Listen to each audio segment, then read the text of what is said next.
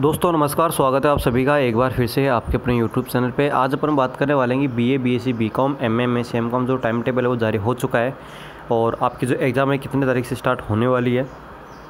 समय जो आपका कितने घंटे का होने वाला है कि आपकी इतने घंटे के बीच में आपकी जो एग्ज़ाम होने वाले यानी कि दो से ढाई घंटे, तीन घंटे, ठीक है? आपका जो टाइम पीरियड हुआ कितना होने वाला है एडमिट कार्ड है, आपके जो कब तक है वो डाउनलोड करवा लिए जाएँगे। ऑफिशियल वेबसाइट पे आपके जो एडमिट कार्ड है कब तक डाल दिए जाएँगे, कब से आप एडमिट कार्ड अपना डाउनलोड कर सकते हैं।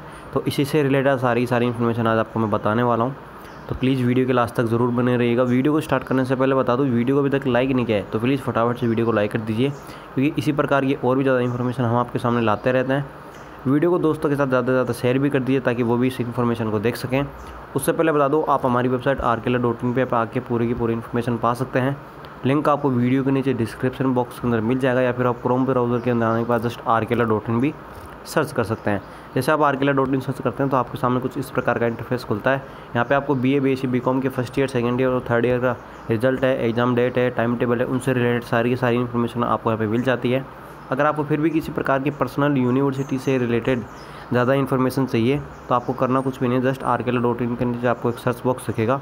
सर्च बॉक्स पे आके आप उस यूनिवर्सिटी का नाम लिख के, जैसे मान लो यहाँ पे मैं महाराष्ट्र यूनिवर्सिटी की बात करूँ और जैसे महाराष्ट्र यूनिवर्सिटी लिखता हूँ, जैसे सर्च बॉक्स पर क्लिक करूँगा तो आपके सामने महाराष्ट्र यूनिवर्सिटी से रिलेटेड सारी की सारी इन्फॉर्मेशन आपको यहाँ पे मिल जाएगी, जैसा कि आप देख ही पा रहे हैं। ये देखिए, ये तो रिक्वायरमेंट के बारे में बता रखा है, ठीक है? आपको यूनिवर्सिटी से रिलेटेड सारी की सारी इन्फॉर्मेशन आपको यहाँ पे मिल जाएगी। अब बात करते हैं अपने एग्ज़ाम की डेट की टाइम टेबल के बारे में। तो ये देखिए फाइनल ईयर एग्ज़ाम्स ठीक है? महाराष्ट्र में अक्टूबर में ऑनलाइन हो सकती हैं विश्वविद्यालय परीक्षाएँ। महाराष्ट्र में जो है अक्टूबर में आपकी ऑनलाइन परीक्षाएँ हो सकती हैं। और ज़्यादा इन्फॉर्मेशन आपको नीचे बता भी देता हूँ मैं। ये देखिए, महाराष्ट्र में फाइनल ईयर की परीक्षाएँ अक्टूबर तक के लिए आगे बढ़ाई जा सकती हैं। इन परीक्षाओं को अक्टूबर में आयोजित कराए जाने की संभावना है। टाइम्स ऑफ़ इंडिया की रिपोर्ट में सूत्रों के हवाले से कहा गया है कि इन परीक्षा का पेपर बहुविकल्पी प्रश्नों का होने वाला है। महाराष्ट्र सरकार अंतिम वर्ष यानी लास्ट सेमेस्टर के छात्रों की परीक्षाओं के लिए अपनी नई गाइडलाइंस भी जल्द ही जारी कर सकती है। इस संबंध में रविवार को वाइस चांसलर समिति की एक बैठक हुई थी और समिति की चर्चा के बाद आज सोमवार को राज्य सरकार को अपनी रिपोर्ट सौंपना है।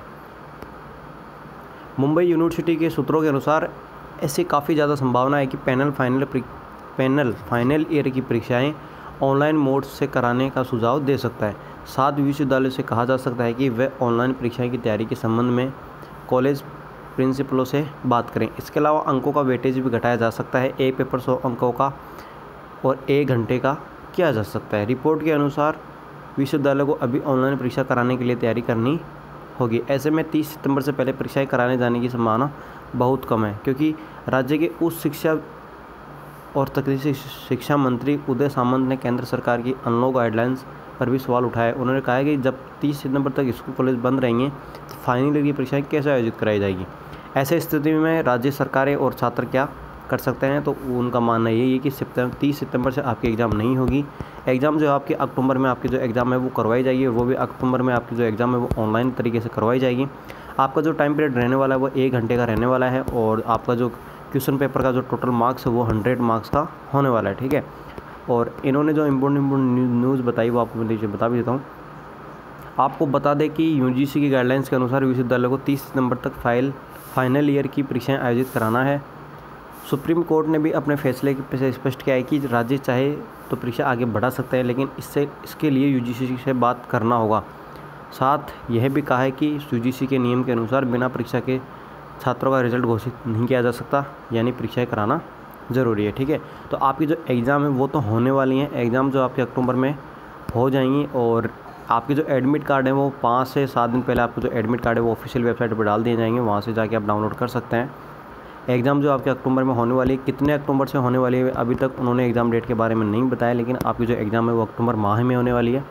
ठीक है, अगर और फिर भी अगर कोई ऑफिशियल न्यूज़ निकल के आती तो हम आपके सामने इन्फॉर्मेशन ज़रूर लेके आएँगे। और अगर आपको वीडियो पसंद आए तो प्लीज़ वीडियो को लाइक कर दीजिए, दोस्तों के साथ, ज़्यादा से ज़्यादा शेयर कीजिए, ताकि वो भी इस इन्फॉर्मेशन को देख सकें। आज के लिए इतना ही, काफ़ी मिलते हैं नेक्स्ट वीडियो में। तब तक के लिए धन्यवाद।